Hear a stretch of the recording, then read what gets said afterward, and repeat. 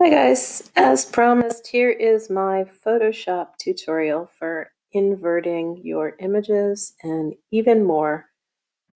I have opened up my photo and the fastest way to invert is Control I and then you'll see you have an inverted image. I'm going to undo that by hitting Control I or Control Z for undo. Another way to invert in case you forget that one, is image adjustments, invert. Look at that. I'm going to hit Control Z. Now, there's even another way to invert your image over here. These are your adjustment layers. If you want to add it as a separate layer, and we'll talk about why you might want to do that later.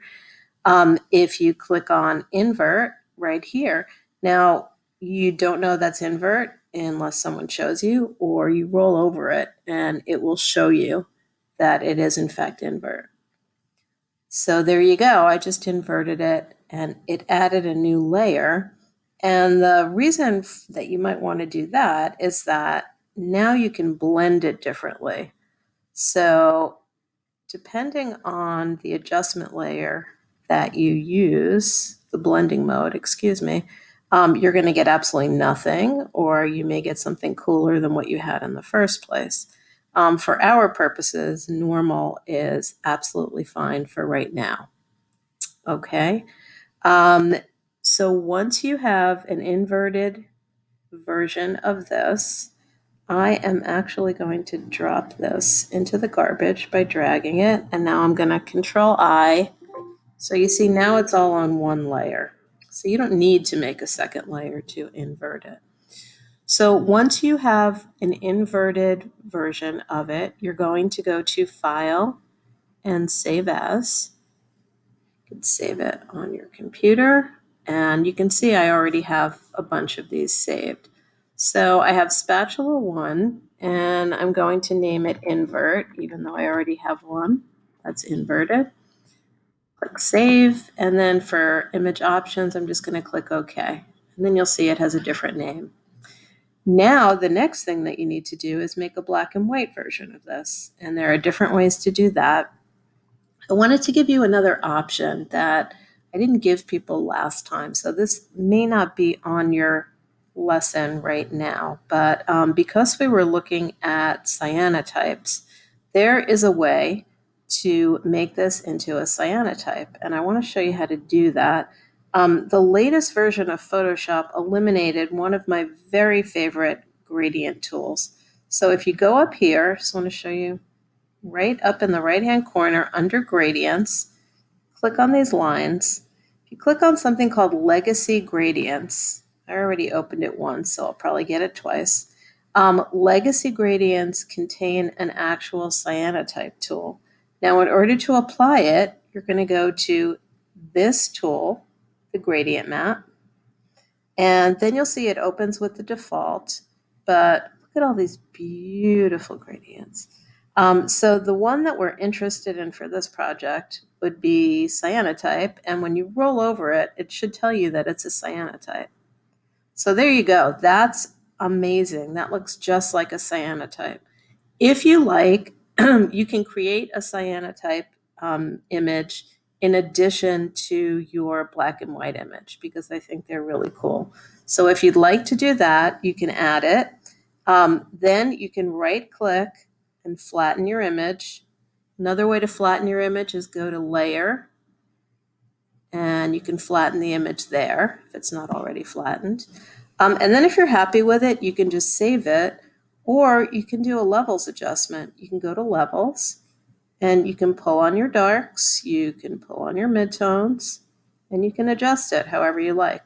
Okay, so um, you can make it the brights brighter. You don't want to blow it out so you lose detail.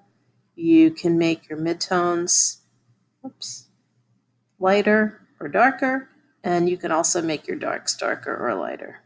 Okay, now when you're happy with this, flatten your image, and then do File, Save As, and you go through the same exact process. Save on your computer, um, and I'm just going to call this one Spatula cyanotype. Click OK. Now, the thing that you need to do that I haven't shown you yet because I threw in this extra thing um, is your black and white. So what I'm going to do is show you how to use the history tool. This is your history tool right up here, these three little squares and an arrow. And this will show you all the different versions. So I'm actually going to go right back to the beginning when I first opened this up. And I'm going to go back to my original version just to show you that. Um, and now I'm going to show you right after I inverted it. There you go. So you need to do a black and white version of this. Here's black and white um, in the adjustment layers. Okay. Um, you can also go to image adjustments and you can go to black and white up here. And that will put the black and white right on the background layer.